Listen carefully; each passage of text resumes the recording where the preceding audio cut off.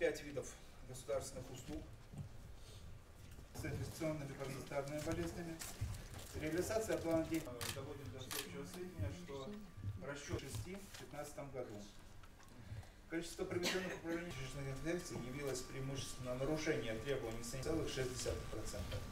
Снизилось число очков. У нас не возникает, при проведении этой работы у нас не возникает пребывание несовершеннолетних В целях реализации указанных предоставлению государственных услуг управлением Федеральной службы по надзору и основных направлений деятельности Роспотребнадзора, реализация Без проверок были выявлены массовые. Или не смогли поставить то количество вакцины, которое нам было необходимо